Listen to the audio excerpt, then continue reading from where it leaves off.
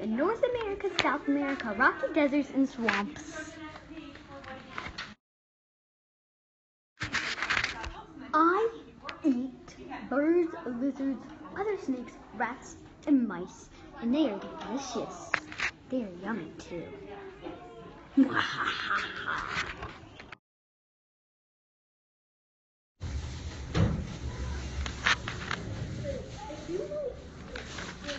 Young snakes.